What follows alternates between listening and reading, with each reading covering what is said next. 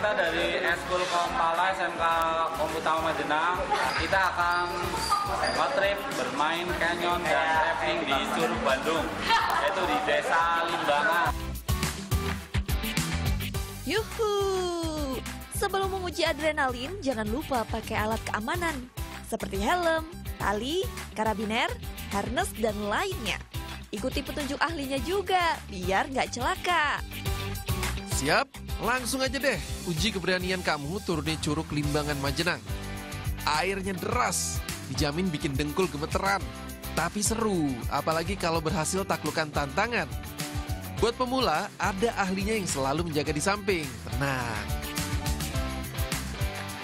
FYI nih, untuk sampai ke sini dari pusat kota Majenang bisa ditempuh selama satu jam.